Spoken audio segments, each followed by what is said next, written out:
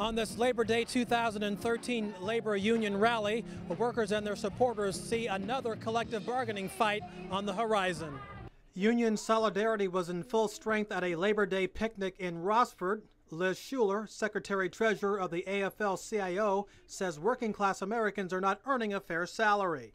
Workers are getting the short end of the stick. Uh, the middle class is being squeezed, and we see a lot of wealth being accumulated at the top end of the economy and not much for working families. I asked Shuler if President Obama bears any responsibility. I think uh, we have had our challenges in the economy. We know that, and we're continuing to knock on his door and, and, talk about how we need to inject more fairness, how we need to, um, you know, continue to, to grapple with the inequality that we're seeing.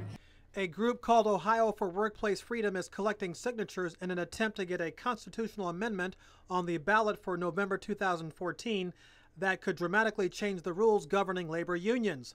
State Senator Nina Turner from Cleveland is opposed to Ohio becoming a right to work state. We are here fighting for all workers. We know that in states where there are right to work laws, wages are less. And so we are here to fight for working class people, whether they're in labor unions or not, so that they can have a wage to take care of their families. Right to work for less does not work. If the Workplace Freedom Constitutional Amendment makes it to the ballot in November 2014, union workers believe that they will be able to defeat it.